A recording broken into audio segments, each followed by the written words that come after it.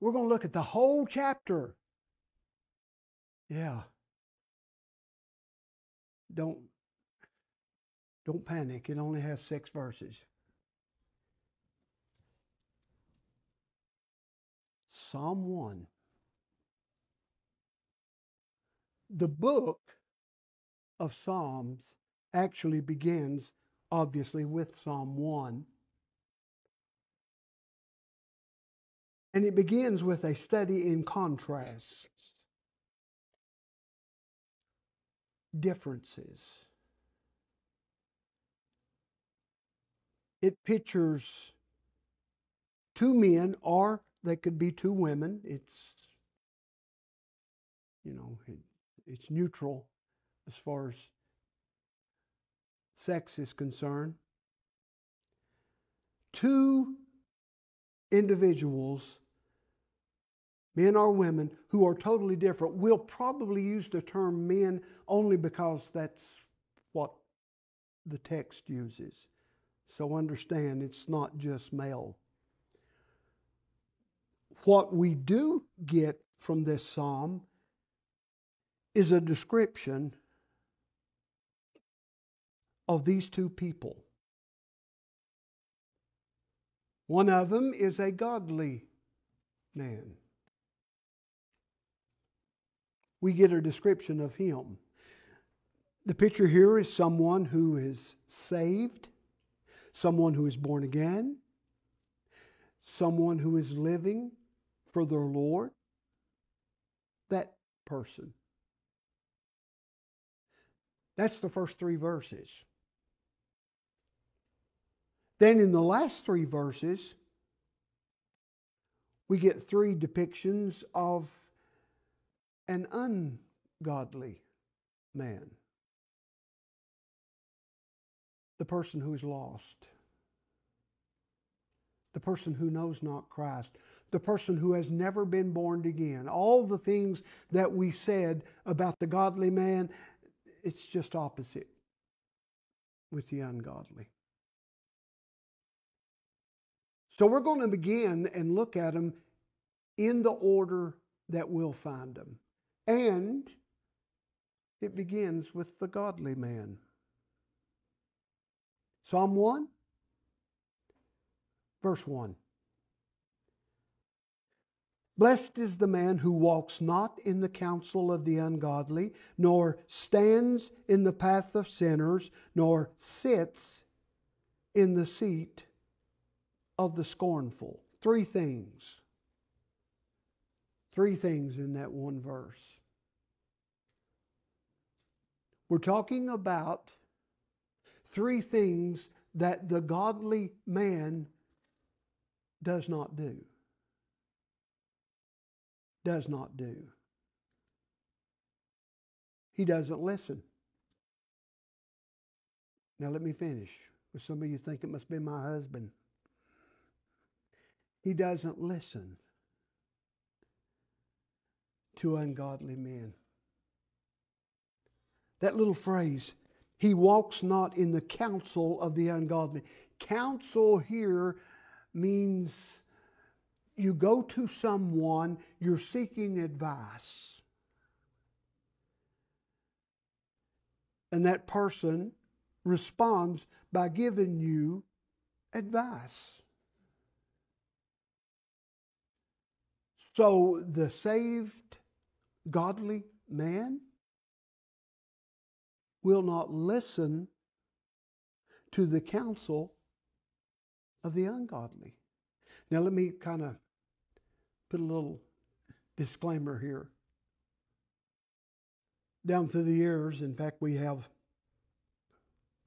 one of our people here at the church that is been going through counseling with someone who is a trained specialist. He asked me my opinion. I told him. I have no problem with it because this particular counselor, even though he is clinically, has all of the doctorates and everything else, he's also a Christian. And that makes a difference. So I'm not saying that particular person I'm talking about, that counselor is a Christian. But how far should we go as far as listening to counsel of those people who are not Christians? I don't doubt for a moment some could be very, very helpful. They don't, they don't get that degree by not being trained. They know the questions to ask. I don't know them. I have talked with this particular individual many times. He seeks out my advice, and I'm thankful for that.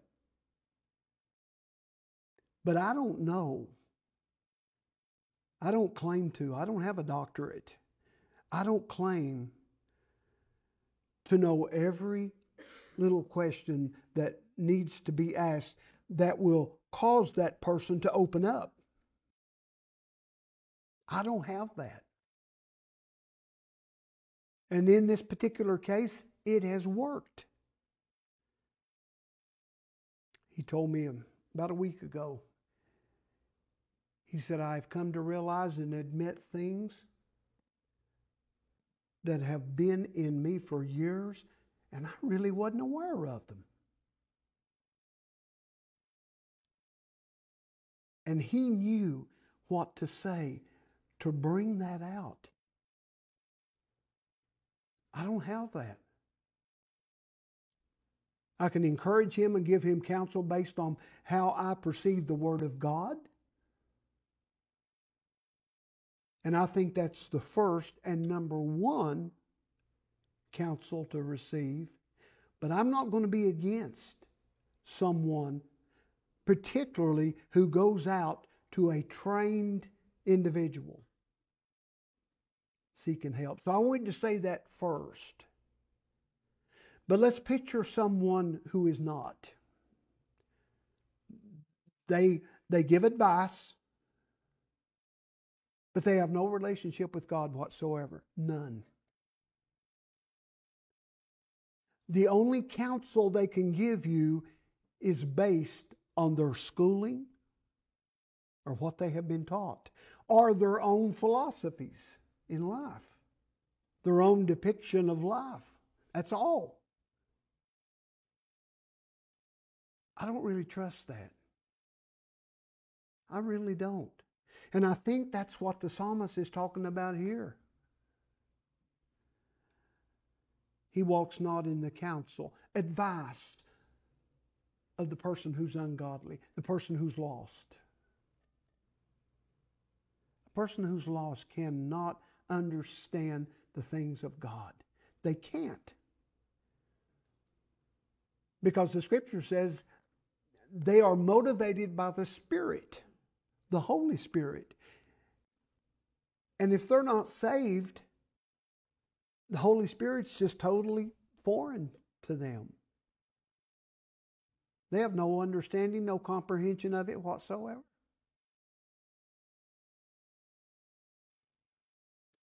The godly man does not go to the ungodly and say, Give me advice. Something else. He doesn't listen to ungodly men. He doesn't linger with sinful men. He walks not in the counsel of the ungodly, nor stands in the path of sinners. First of all, he's standing. And the term path there means that he's kind of, in a way, fellowshipping with the unsaved. Now, down through the years, I've had friends. Perhaps you have too, who by their own admission were lost.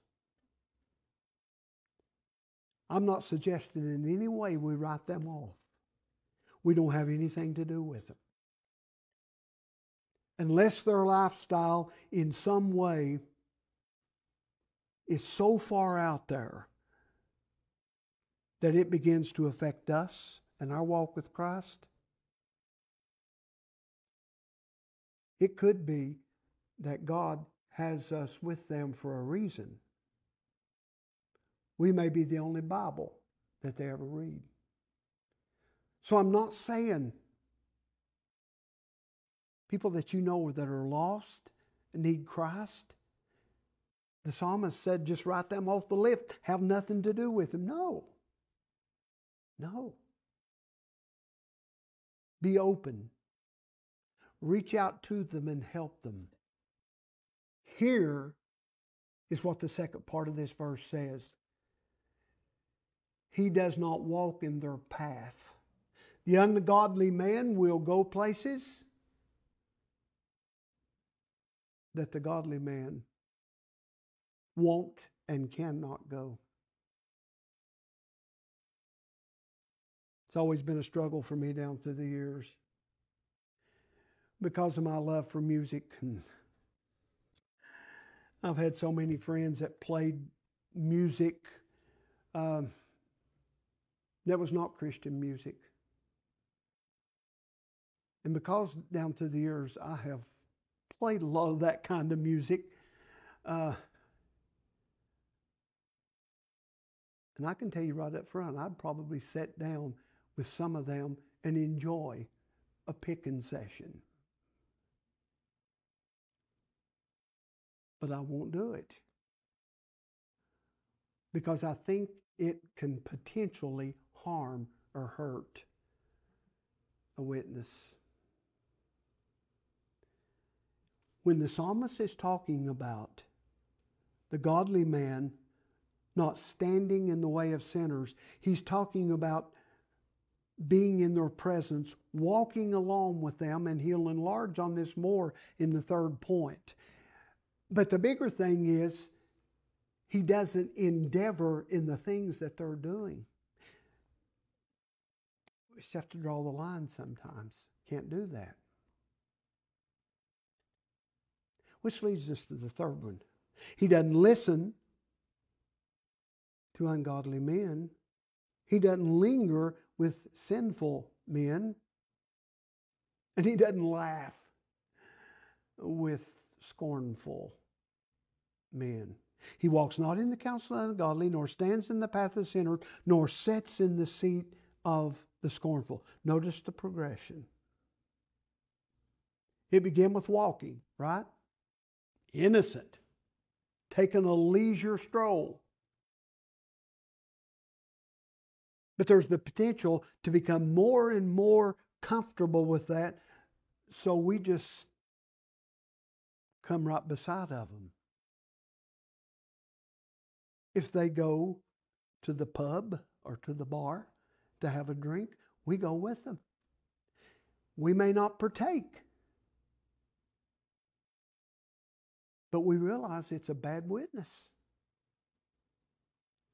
Terrible. But then it progresses farther. It begins by just walking alongside. Then we stop and we're with them. And the last part is the biggest picture of all. We sit down at the seat of the scornful. That would be, could be the breaking point to sit down and see some of the things that are going on and think, I don't think that would harm me. And we all know that's how Satan works. I don't think that I would be affected by that. How many well meaning Christian people have succumbed and fallen because they started doing something they thought, I can draw the line, I can control this but it overtook them. So many. So many. The godly man. Now look at verse 2. That's kind of the negative. That's three things he does not do. Now let's look at him from a positive standpoint. Verse 2 But his delight, now everything changes. Up until this point, it's things he does not do. Now he talks about things that he does do. His delight is in the law of the Lord. and in his law he meditates day and night. Now we see the relationship between the godly man and the Word of God. God's Word.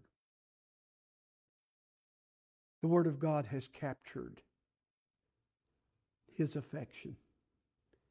He's literally fallen in love with the Word of God. His delight is in the law of the Lord.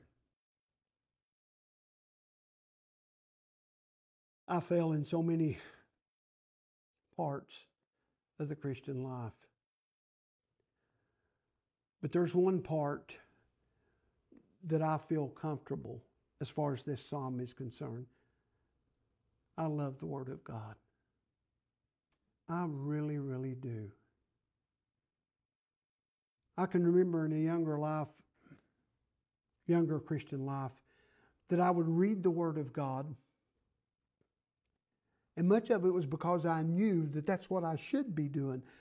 The pastor was encouraging me to do that. My Sunday school teachers were encouraging that. Get in the Word of God. Read the Word of God. And I would read. And I would find things even then. Especially if it was a passage of Scripture, maybe out of the Old Testament, that had a storyline to it. I could get involved in it. But now to go and read some parts, uh, particularly the Old Testament, which so and so begat so and so, and he begat so and so, and he begat so and so. It's God's Word. It's all there for a reason. They're showing lineage, by the way. But I'd read that, and I thought, I am not getting a whole lot out of this, right? If it had a storyline, I could really get intrigued with it. As I got older, particularly as I started pastoring, I began to realize how important the Word of God was, not just because it supplied sermons, although that was part of it. I don't want to ever preach anything to you out of a Reader's Digest or an almanac or anything else. If I preach to you, I'm going to preach to you out of the Word of God. I may refer to some other periodical, to some other author. That's different. But as far as its basis is concerned, keep it in the book. The godly man has just been captured by the Word of God. It has captured his affection. He loves it. And I can say with an honest heart, I love God's Word. I love it. And I think one of the most intriguing things about the Word of God to me is just how fresh it is. I have been reading the Word of God for years, long time. And there are many times that I'll read a passage of Scripture or a story and I'll see something I have never seen before. Never. And I perhaps have read that passage many times. That's what we refer to as illumination. The Word of God is illuminated. It is a living book. It's alive. That's the reason it never wears out. Because the Holy Spirit, in conjunction with the Word of God, will point things out to us and show us things that we'd never seen. I don't know any other book that'll do that. So God, God's Word has captured His affection. Then it's claimed His attention. His delight is in the law of the Lord, and in His law he meditates day and night.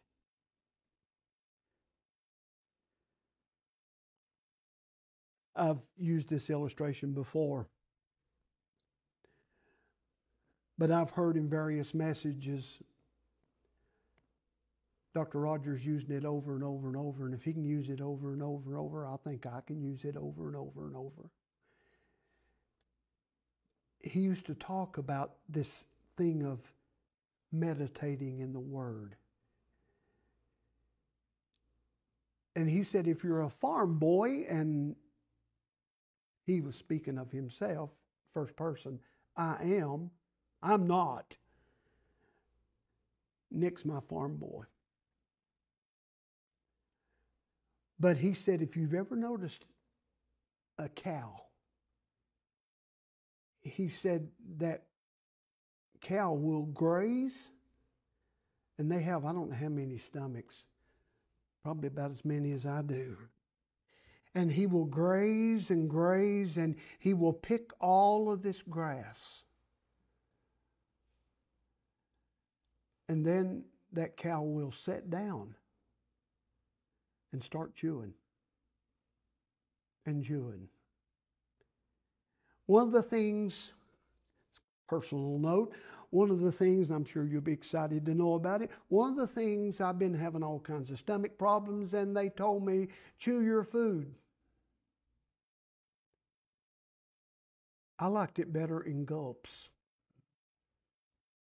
I could get another one quicker with a gulp. My stomach doctor told me that's a mistake. Chew your food. I have an ulcer right in the bottom of my stomach. And he says, by not chewing your food, it's going there and laying there. When I went for the last procedure, first thing he had to do was go down in there and take a lot of food that had been laying there for a long time. No wonder I was having such a hard time. I am doing better, by the way. Chew your food. Now, I'll have to admit, that's something I had to make myself do. I had to force myself. But it's working. Because I'll be honest with you, before that, before I started doing that, I thought, I've already chewed that. I'm not going to chew it anymore. That's yucky. Think about that cow chewing hours and hours and hours the same food. And eventually, it will allow that food to digest. Dr. Rogers used that illustration when he talked about it. That's what the psalmist is talking about how that he meditates on the Word of God, Chews the cud over and over and over. Now you've got your farm report for the night. Move to verse 3. We're still talking about the godly man. He shall be like a tree planted by the rivers of water that brings forth its fruit in its season Whoso leave also shall not wither, and whatever he does shall prosper. Quickly, five things. His prominence.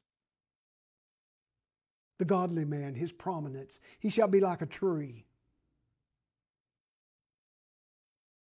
I think all of us at some point, some more than others, but all of us respect the beauty of a tree. A big oak tree, for example. We can almost back up in awe and see that stately tree. It's beautiful. Its prominence. I think this past fall, in my opinion, was one of the prettiest falls that we have had in a long time. Phyllis and I took several trips just looking at trees. It was beautiful. He shall be like a tree, like the mighty oak. It's permanence. He shall be like a tree planted. Planted. Depending on the variety of trees, since we've been having a lot of wind, sometimes those trees will be uprooted. We, uh, we set out years ago up in the upper part of the yard, uh, three pear trees, beautiful trees, beautiful. But evidently they are so soft because on two occasions the whole side, and they grew fast, and that may be another reason that they do. The whole side come out of one tree twice. My little beagle happens to be up there about where those trees are because it's shady. I think when that thing come down, it didn't hit her. But I think it really, really tore her up. He shall be like a tree planted. There are certain types of trees that the wind can come and it would take a a hurricane or something to blow some of those trees down because they are so deeply rooted. Roots go way, way down into the soil and they withstand whatever comes their way. Now, he's comparing this to the godly man. His prominence. I've looked upon men and women down through the years that I've had the privilege of pastoring, and I've just admired them. Their permanence, they're always there, no matter what comes along. They don't waver. Then their position, he shall be like a tree planted by the rivers of water. Now that, that makes a pretty scene to see a beautiful tree near a very slow moving river. That's beautiful. But there's more benefits. Because of that water source, that tree has got a full supply all the time. And as long as that water source is there, even though it may go down, that tree will withstand because it's planted by the water. And in this sense, I think we can picture the Lord Jesus Christ being the water of our life, who sustains us in conjunction with the Holy Spirit. His productivity, a tree that brings forth its fruit in its season. The godly man who has fallen in love with the Word of God, right, knows from reading the Word of God that there are things he or she are to be involved in, or to be soul winners. Now, in the case of the tree, it's natural fruit, whatever it is, if it's a fruit tree. And even if it isn't, it brings forth its leaves it's productive. And the godly man who is by the river, because he loves the Word of God so much, he's constantly encouraging others, continually trying to win others to his Savior. Then his prosperity lasts. His leaf also shall not wither, and whatever he does shall prosper. His prosperity. Let me say this about this particular portion. A lot of people read this and think, I've known people, godly people, who struggled all of their life financially, they had very, very little. Seemed like there was setback after setback after setback. They had very little. Let me tell you something to keep in mind. Prosperity as it relates to the world is one thing. Prosperity as it relates to God can be something totally different. And I'm really, and God has blessed us, and I thank Him for it, but I'm really not really concerned about how the world views me or my family as far as prosperity is concerned. God has supplied our needs and actually many of our wants. Perhaps things we didn't really need, but we wanted. An old money pick truck. Things that we like.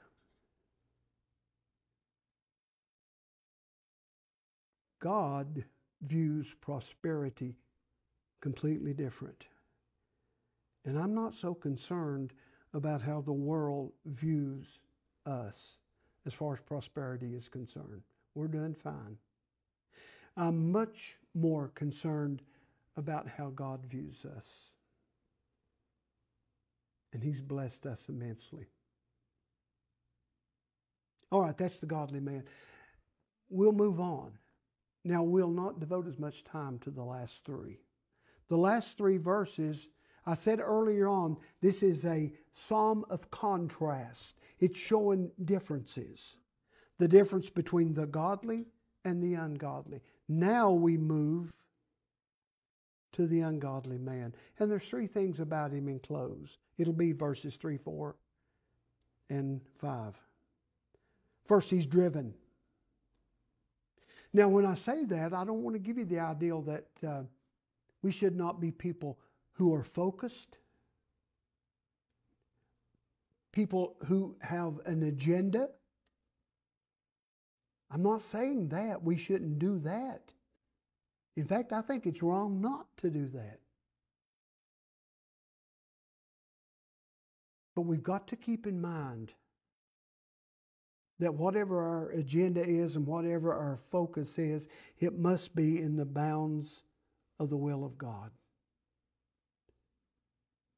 And the ungodly man, he's driven. But that which is driving him is not right. Look at verse 4. The ungodly are not so. Now, basically, that's a throwback to what he's talked about in the first three verses. The godly man. He said, The ungodly are not so. There's the contrast. But are like the chaff which the wind drives away. Chaff is a little husk on grain. You've seen it. And when the wind blows and that grain is up and mature, you can see it. If the wind blows hard, if you look, you can see it. Looks almost like snow. The wind blowing that chaff away. And the psalmist compares the ungodly man to that chaff. He's driven, he's blown away by design. That chaff is not to stay on the grain. So the wind comes by and takes care of it, blows it away.